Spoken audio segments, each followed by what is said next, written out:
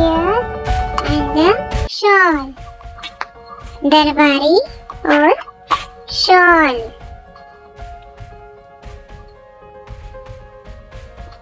ये अकबर बीरबल की कहानियों में से एक छोटी सी कहानी है, जो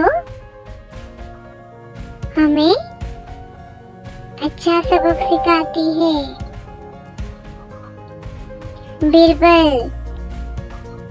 जो अकबर राजा का एक दरबारी था। वो बहुत ही होशियार था। एक दिन और वो राजा का बहुत फेवरेट भी था। इसीलिए दूसरे दरबारियों को उससे जलन होती थी। एक दिन बाकी दरबारियों ने अकबर राजा से कहा, महाराज, बीरबल अकेला ही इंटेलिजेंट नहीं है। वो अकेला ही होशियार दरबारी नहीं है। आप हमें कोई मौका ही नहीं देते हमारी होशियारी साबित करने का। एक बार हमें मौका तो देके देखिए, फिर हम भी आपको दिखाएँगे कि हम भी होशियार हैं।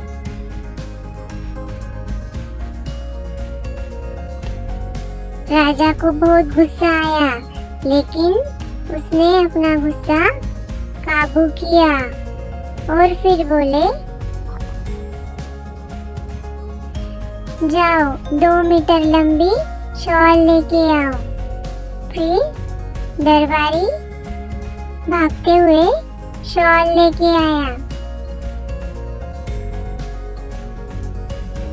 जब वो लौटे तो उन्होंने देखा कि राजे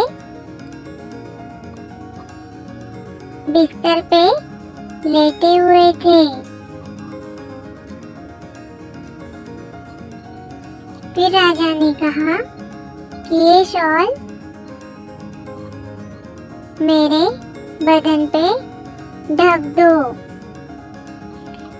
कि मेरी, मेरा पूरा बदन ढक जाए। राजा बहुत ही लंबा था। दो मीटर शॉल राजा को पूरी तरह से ढक नहीं पा रही थी। दरबारियों ने बहुत प्रयास किया। लेकिन उनसे नहीं हुआ। फिर बिरबल वहाँ पे आया। फिर अकबर राजा ने बिरबल से कहा, बिरबल, ये शॉल मुझ पर ऐसे डालो कि मेरा पूरा बदन इससे ढक जाए।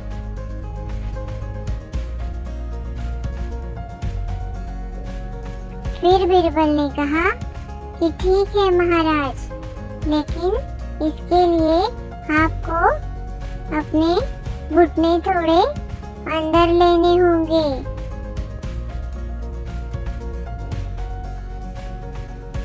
फिर राजा ने बीरबल ने जैसा कहा, वैसे किया। जब राजा ने अपने घुटने अपने पेट की तरफ़ थोड़े अंदर लिए तो शॉल राजा को पूरी तरह से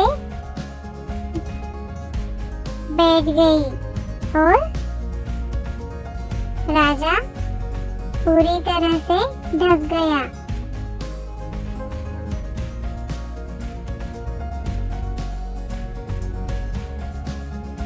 इस तरह अकबर को बिरबल से बहुत गर्व महसूस हुआ। राजा ने कहा कि, देखो, बीरबल ने फिर से एक बार अपनी होशियारी का प्रदर्शन किया और मुझे एक बार फिर गर्व महसूस दिलाया। Thank you for watching Fun and Learn by Sharbi. Please like, share and subscribe.